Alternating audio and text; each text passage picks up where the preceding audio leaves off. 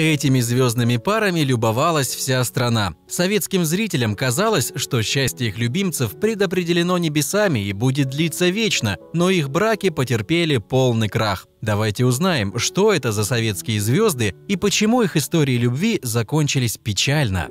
Татьяна Самойлова и Василий Лановой – Юные Татьяна и Василий познакомились в 1953-м, будучи студентами знаменитой «Щуки». Вскоре Лановой признался, что без Тани ему все равно, что без воздуха. Свадьбы у влюбленных не было, они просто забежали в ЗАГС и расписались. Жили молодые на стипендию, Василию приходилось подрабатывать. И тут для Татьяны наступил звездный час, ее пригласили на главную роль в картину «Летят журавли». На тот момент она была беременна. После тяжелых размышлений Таня выбрала кино. С тех пор в ее отношениях с мужем все пошло наперекосяк. Большую часть времени они проводили на съемках, вдали друг от друга. Однажды Татьяна и Василий поняли, что лучше расстаться, настолько чужими они стали. Поклонники переживали, ведь Самойлова и Лановой считались самой красивой актерской парой. Судьба свела их вновь лишь через 10 лет на съемках Анны Карениной. Оба уже были не свободны, да и, как говорила Татьяна, разбитого не склеишь. Лановой обрел счастье с Ириной Купченко, а Самойлова позже признавалась, что не может сдержать слез, когда думает о прошлом.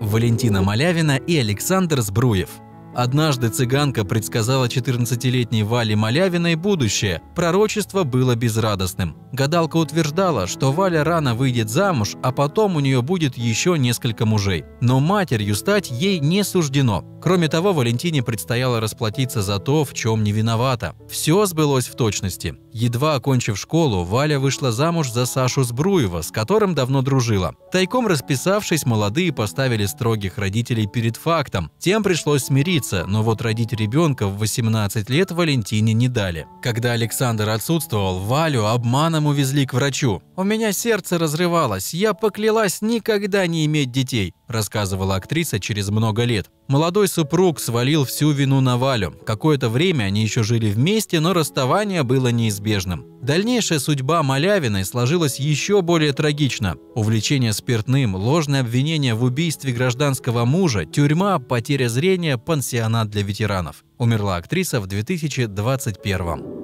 Анастасия Вертинская и Никита Михалков – Вертинская и Михалков познакомились в Щукинском училище. К тому времени Настя уже сыграла свои знаменитые роли в картинах «Алые паруса» и «Человек-амфибия». Никита тоже успел сняться в кино, но его известность не шла ни в какое сравнение со славой Насти. Каждый вечер он приходил к подъезду однокурсницы с букетом. «Мне просто снесло крышу», — говорит Михалков о том времени. Никита расстраивался, что Настя вечно была окружена поклонниками, а он в стороне. Зато когда Михалков собрался жениться на другой, Анастасия опомнилась. Официального брака Анастасия не хотела и пошла в ЗАГС лишь после появления сына, а через пять лет они с Никитой расстались. Я его очень любила, но была фанатично одержима профессией. На этот алтарь я положила все. Никите нужна была совсем другая женщина», – поделилась Вертинская в одном из интервью. Сейчас Анастасия по-прежнему одинока и вполне довольна своей судьбой, а Михалков много лет счастлив во втором браке.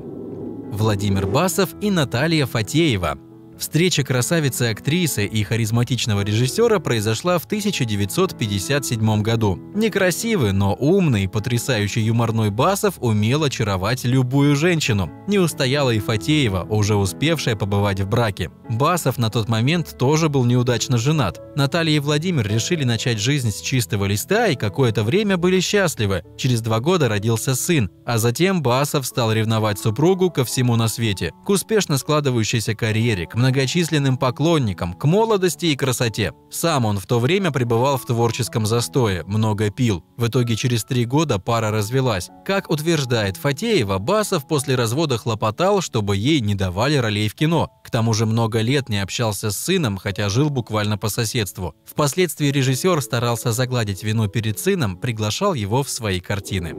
Нонна Мордюкова и Вячеслав Тихонов – Студенты в ГИКа встретились на съемках «Молодой гвардии». Многие удивлялись их роману. Действительно, сдержанный интеллигентный Слава совсем не подходил яркой и взрывной кубанской казачке. Сама Нонна Викторовна впоследствии говорила, что их брак был преждевременным. Много лет молодая семья жила в проходной комнатушке. Бытовые заботы полностью лежали на Нонне. К тому же к ним частенько наведывались родственники с Кубани, и Тихонова безумно раздражал этот колхоз. От развода Нонну отговорила теща, очень любившая зятя. Но, похоронив маму, Мордюкова первым делом написала заявление. Актеры не общались 50 лет. Нонна несколько раз пыталась устроить личную жизнь, но неудачно. Затем в ее жизни случилась настоящая трагедия – смерть единственного сына. Тихонов женился на учительнице, растил дочь. Лишь в конце жизни Мордюкова призналась, что все эти годы ждала от Штирлица хоть какого-то знака внимания, даже плакала. Вячеслав Васильевич позвонил в день ее 80-летия. Актеры попросили друг у друга прощения, но менять что-либо было уже поздно.